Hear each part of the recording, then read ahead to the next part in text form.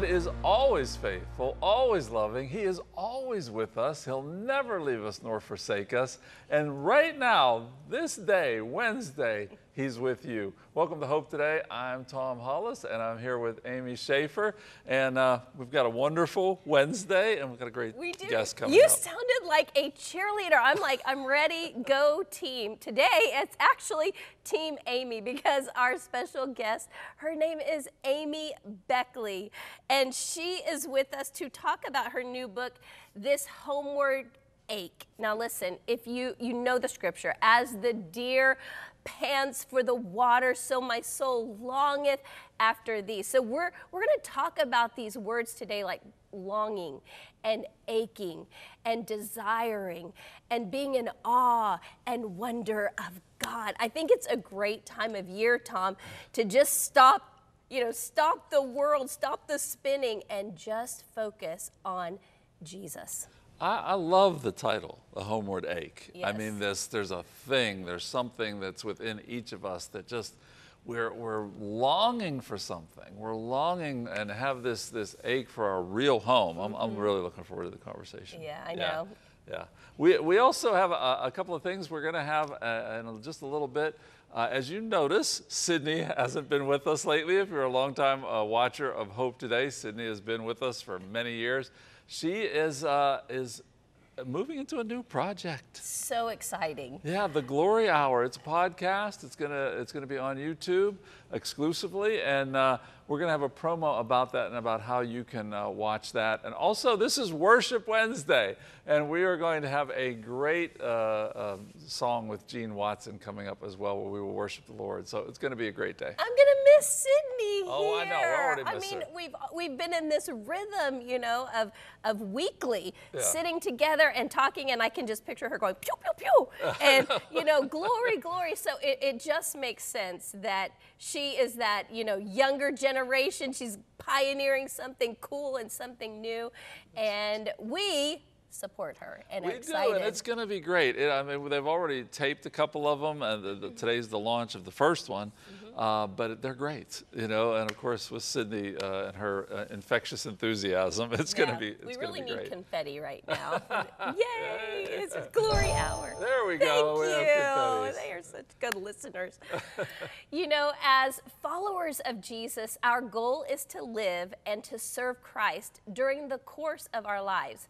And our ultimate reward to one day, wow, spend eternity with Jesus in heaven.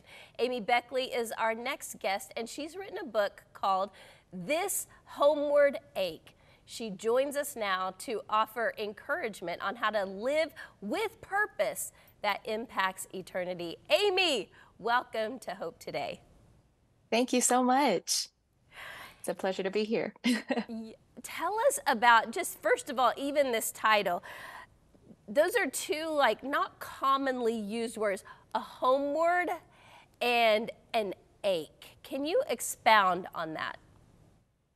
yes. Um, this homeward ache, in this homeward ache, I'm talking about something that um, the author C.S. Lewis called the inconsolable longing. And so the homeward part is about um, longing for the home that we're destined for, the home that God has promised us um, as we prepare to live with Him in full, the time when we'll dwell with Him forever. And the ache is talking about uh, a quality of longing that I think can sometimes stop us in our tracks. That um, that I try to write about from different phases in my own life. Um, but it's a kind of longing that you it, it pierces. Um, it's been called like a stab of joy by Lewis, um, but that is also so sweet. I think there's like a quality of sweetness to it that makes you want to keep it around in a strange way. so, I guess putting those things together. I um, couldn't help when yeah, I was sums it up. when I was reading your book. I could almost picture you sitting down at a restaurant with C.S. Lewis and just talk because he had such a way with words, and you have such a beautiful Mm-hmm. way with words in this book.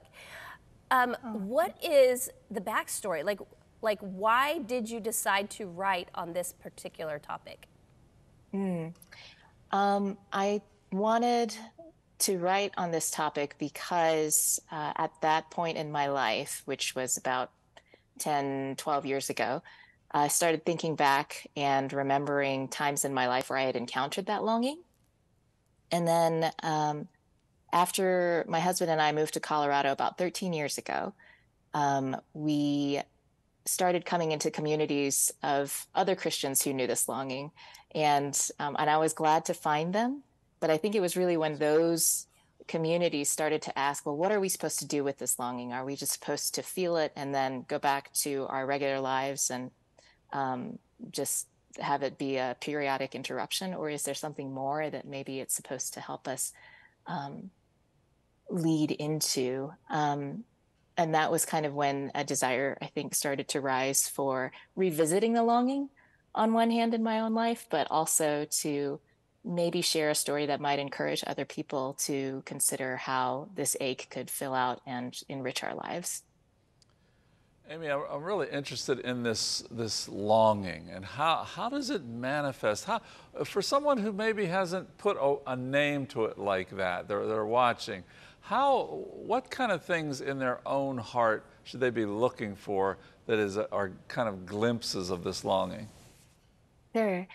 Well, I don't want to speak for everybody, and so this is kind of um, why I've written the book in terms of personal stories. But I start the book, for example, for with a story of a meadow that I encountered when I was about nine or ten years old. I was on a walk with my family, and we um, had just walked up the hill behind our house, and I think it was the first time we had gone that way.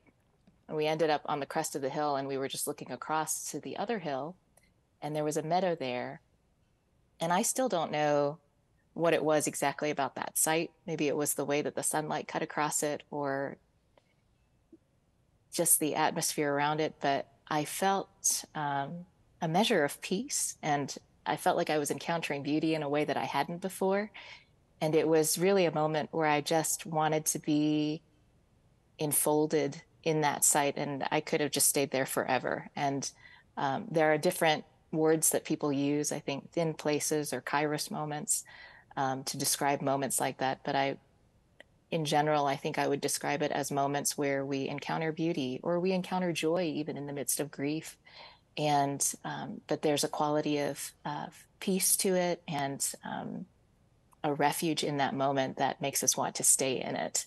And so for some people, it might be encountering a beautiful sight. For some people, it's um, being brought to tears by a song or wanting to stand still for a long time and listen to the sound of the sea. But I think there are a lot of ways that we can encounter it in our daily lives. You know, Amy, last Saturday, you just reminded me, I was sitting in the Pittsburgh Symphony Orchestra at Heinz Hall, and I was listening to a program called Violins of Hope, where they had eight violins from the Holocaust that they were playing in this beautiful symphony. And I can't describe exactly how I felt in that, you know, two hour program, but you have explained it that longing and that ache and that peace. What would you say to somebody if they just sort of feel flatlined? Like they're not feeling anything. They're they're not aching for anything. They're not longing for anything, you know, and and how we are really pilgrims here. Yeah. Um, well, I think there is a there's the reality that Scripture tells us that we are strangers and exiles on the earth. That this is not meant to be our permanent home, and that we're all feeling the reverberations of the fall. Um, but if if you're not feeling anything right now and you feel flatlined, um, I think a key thing to remember about this longing is that it's not something that we generate within ourselves. It's not an emotional response that we have to um, try to maintain or conjure. And uh, something that I keep circling back uh, around to in the book and also in the conversations that I've been having about it is that um, these are really, I think, moments of grace that are given to us as we see how our two realities, the temporal and the eternal, collide. So when those moments happen, it's good to embrace them, but um, but because they're not generated by us, because they're gifts, I think really given from the Father of Lights, you you can let them come find you when they do, if they do. I mean, I don't know that this is something that is a universal um, mode of stepping stones home for everybody, but um, this was a story that I wanted to share for those people who particularly feel this feeling intensely or this yearning intensely and don't know what to do with it.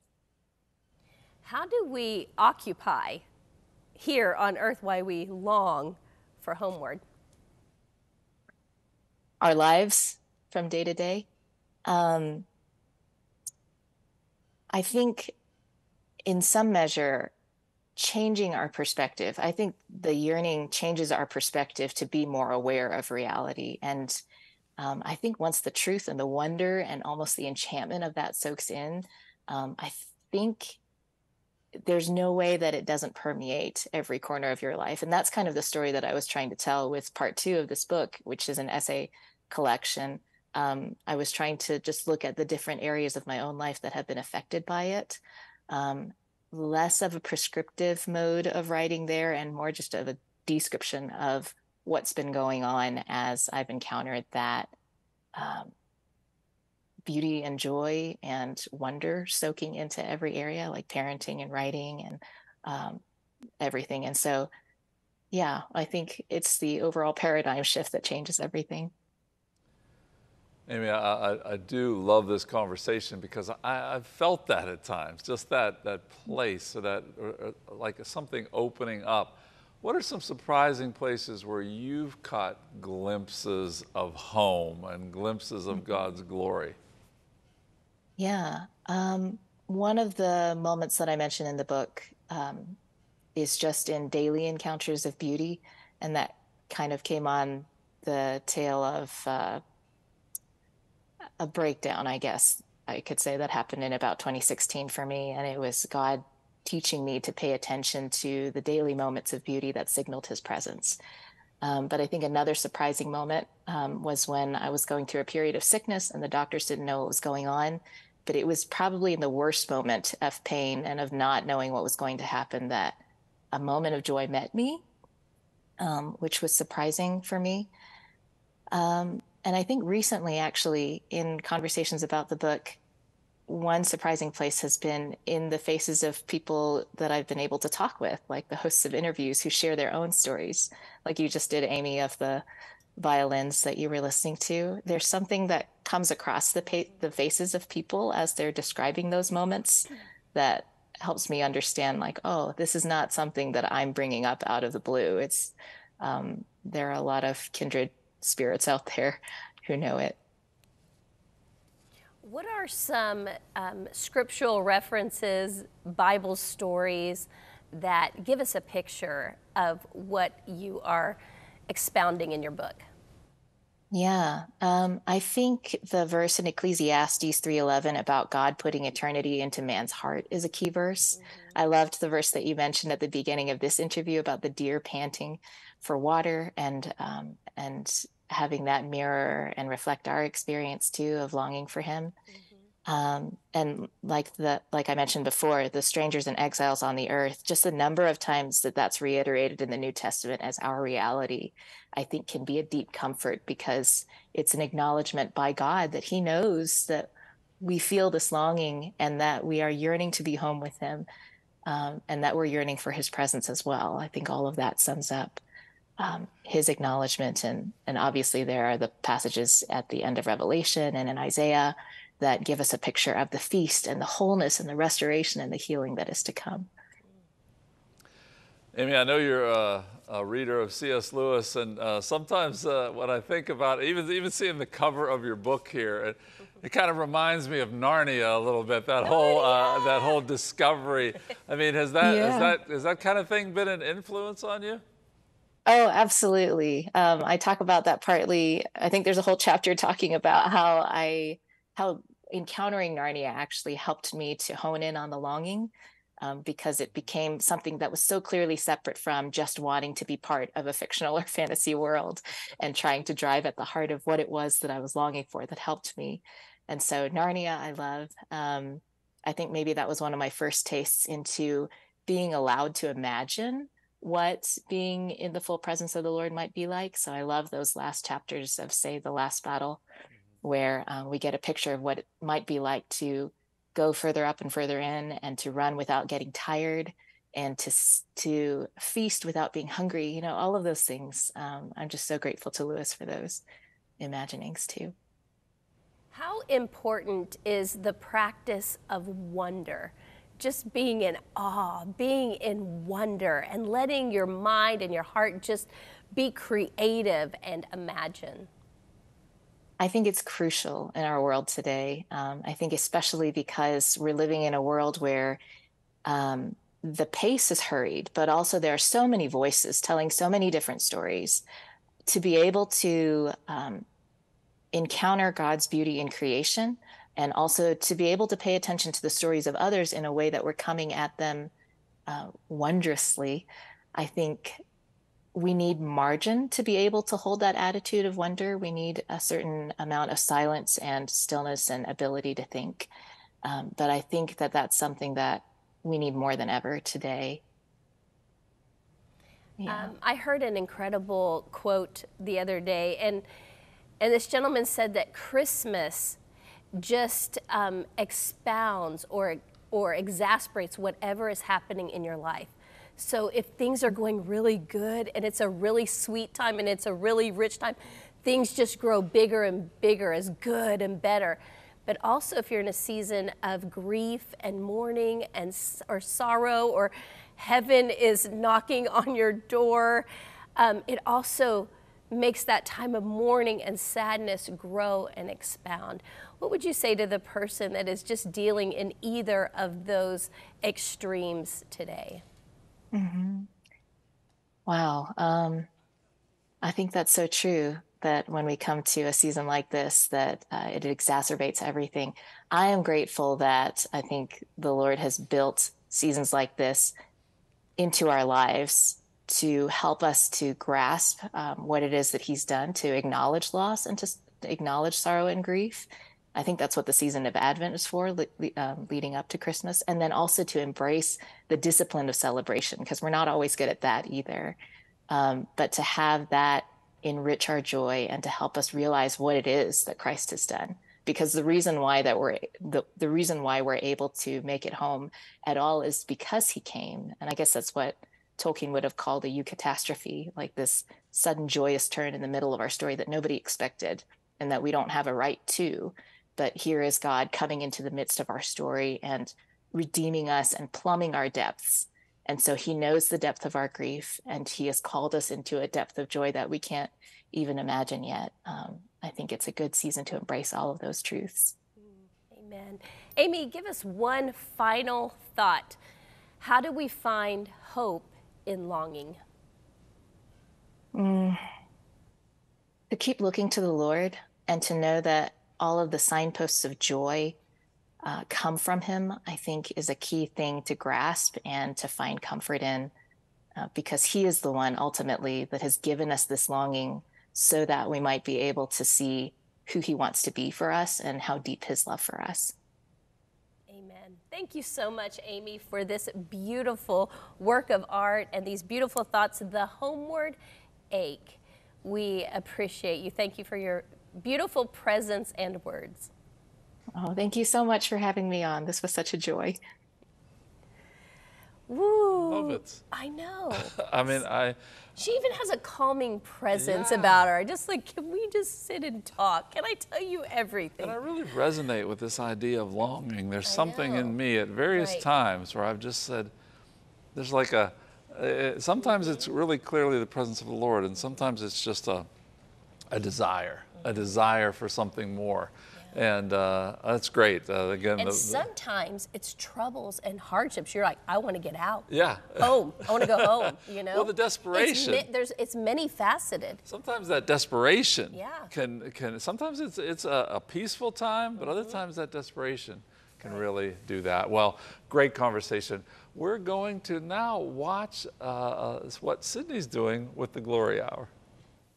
Hey, Hope Today family, it's Sydney here with the Glory Hour where spirit meets culture. And this is all about where we are having culturally relevant conversations from a spiritual perspective. Today is the debut, so you want to make sure go to YouTube, go to Cornerstone Television Network's YouTube channel, look for the Glory Hour first episode because full episodes are exclusively on YouTube. So I am super excited for you to join us. So pull up, grab a snack, grab you a little drink, you know, in a cup of tea coffee, whatever you need. We're to sit back, relax, because we have a really power packed show coming up for you for episode one. So listen to this. People are canceling Hanukkah. You know, the world is preparing to celebrate the Jewish festival this week, and one city in America put the menorah lighting on hold, and we're to tell you where that's happening, where that's going on, also, we're going to talk about finding hope amid anti Semitic attacks. You're going to hear about how a global fellowship of Christians in the heart of Jerusalem has been on the front line serving as an army of light during the Israel Hamas war. And let me tell y'all,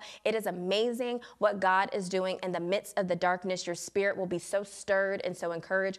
Also, what is making headlines has gone viral about a miracle in Gaza. It is supernatural, it is a sign, it is a wonder, and it's a miracle. All that and so much more happening on the Glory Hour. So be sure to join us today on YouTube, 3 p.m. for the Glory Hour. Make sure you subscribe to Cornerstone Television Network's YouTube page so you can always stay in the loop, always stay on the know, so you can know what God is doing on the Glory Hour. I can't wait to see you there.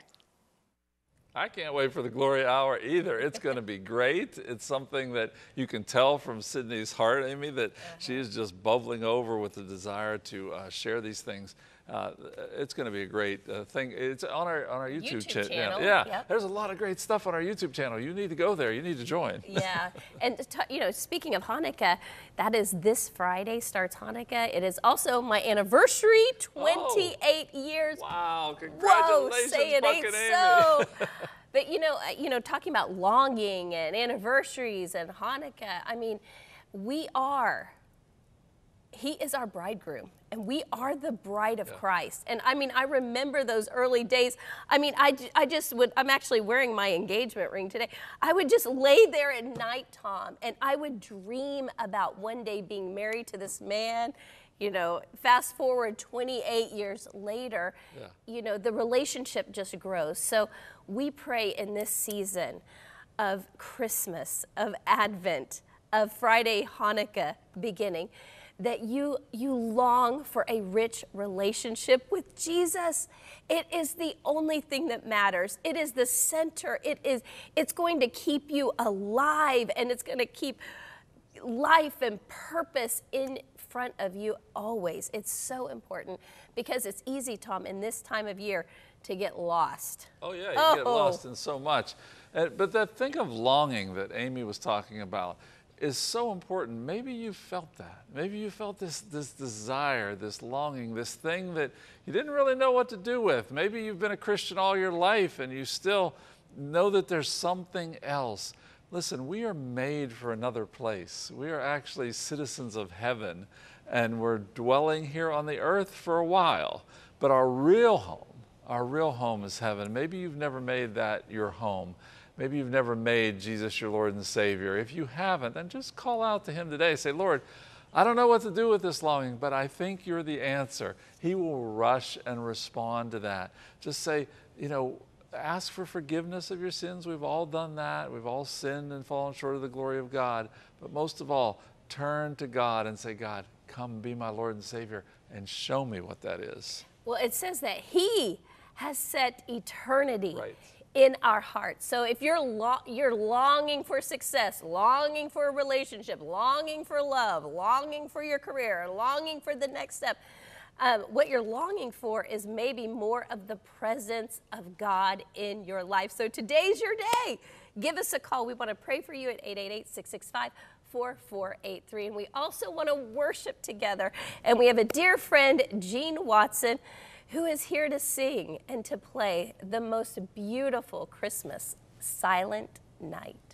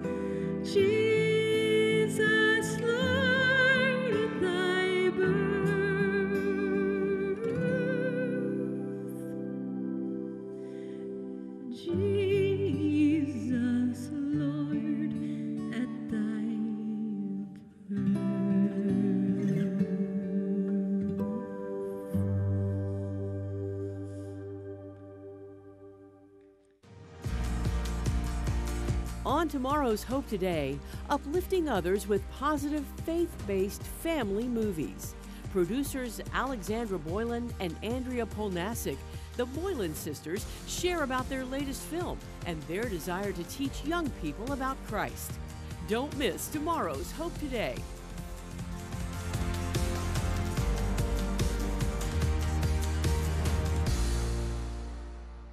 Cornerstone Television wishes to thank all our faithful viewers whose consistent prayers and financial support have made this program possible.